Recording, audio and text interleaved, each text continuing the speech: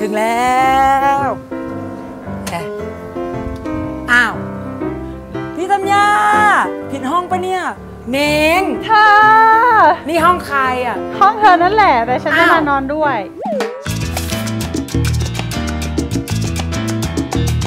อะไรเนี่ยเข้ามาก่อนเร็ว ห้องฉันแน่นะ ห้องเธอนั่นแหละแต่ฉันอยู่ แล้วเธอนอนไหน นี่ไงข้าง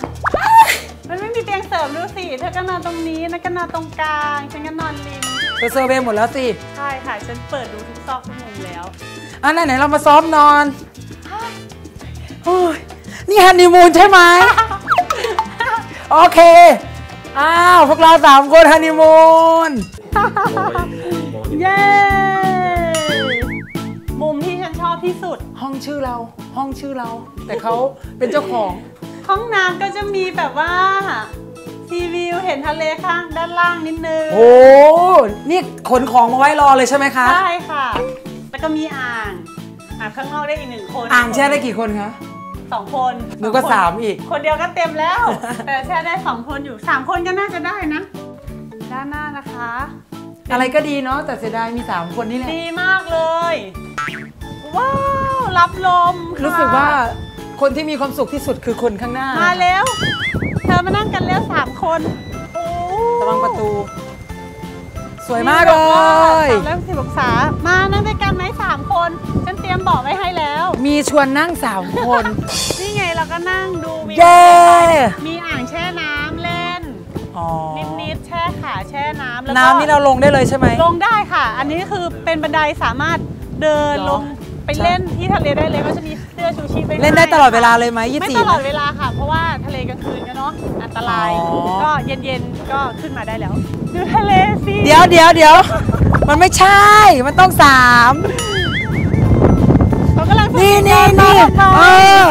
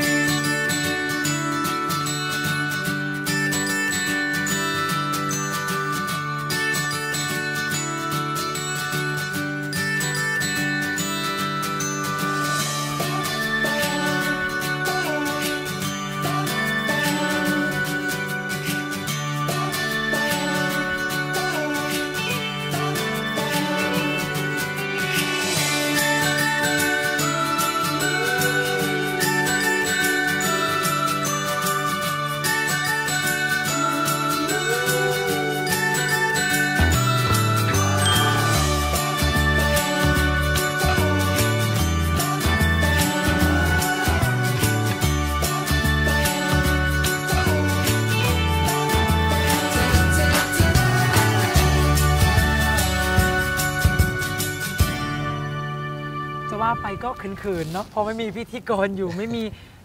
มือที่สามของเราอยู่มากินกันสองคนบรรยากาศสุดยอดมากเลย ชอบไหมชอบ ก็แต่แต่ตั้งแต่แต่งงานเสร็จก็ไม่ได้ฮันนีมูนกันเลยอะแอบเขินอะนะไม่เคยมานั่งเป็นกิจจาลักษณะอย่างนี้ แต่ก็ยังไงก็ต้องขอขอบคุณนะคะ ดาวทาว family ที่ให้โอกาสดีๆ กับกิฟต์กับนัทต้องบอกเลยว่า ตั้งแต่เราแต่งงานกันใช่ปะใช่เรายังไม่มีโอกาสได้มาฮันนีมูนหรือว่าไปทำอะไรมาไหนไปไหนมาไหนด้วยกันสองคนแบบนี้เลยเนาะก็ทำหน้าที่เพื่อชาติ ใครที่มีโอกาสอยากให้มาจริงๆคุ้มกิฟกับนัทเองเนี่ยพูดเลยว่า ถือว่าเป็นความโชคดีโชคดีมากมากครับๆที่ที่ได้มีโอกาสมาฮันนีมูนกันที่มันดีฟนะคะเพราะว่าเราใฝ่ฝันแต่เราเปิดดูราคาแล้ว เราก็รู้สึกเสียดายส่วนตัวเราเอง เพราะเรายังไม่ได้มาเห็นภาพจริงเนาะจริง ๆ แล้วบอกเลยว่าจะต้องได้ต้องมาอีกแน่นอนค่ะเพราะว่าราคากับคุณภาพที่ได้เนี่ยมันคุ้มกันควาจมรู้ริงสึกๆนะความรู้สึกใช่ค่ะใช่ค่ะ เราต้องมาเห็นค่ะว่าอย่างอาหารของเราเนี่ยเขาก็คัดสรรแบบอย่างดีที่สุดให้เรา การเดินทางการดูแล ไม่ว่าจะเป็นที่พักอะไรทุกอย่างเนี่ย เงินที่คุณจ่ายไปเนี่ยคุณจะไม่เสียดายเลยค่ะ มีอะไรนะมีดูดูปลาฉลามด้วย ปลาทูน่า